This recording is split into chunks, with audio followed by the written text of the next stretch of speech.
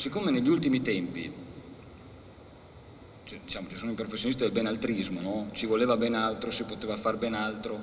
io non so, noi stiamo facendo quello che, che riteniamo giusto, il massimo, quindi non, ho, non sono presuntuoso, so che eh, mi ispiro a Mosè, che come dice la Bibbia era l'uomo più umile della terra, no? quindi io non sono convinto che il lavoro che sto facendo sia così straordinariamente importante, però diciamo che negli ultimi tempi il PIL ha ricominciato a crescere, l'occupazione si è stabilizzata, eh, abbiamo cominciato a mettere in fila tutte le riforme più importanti che l'Europa ci chiedeva e quindi, e quindi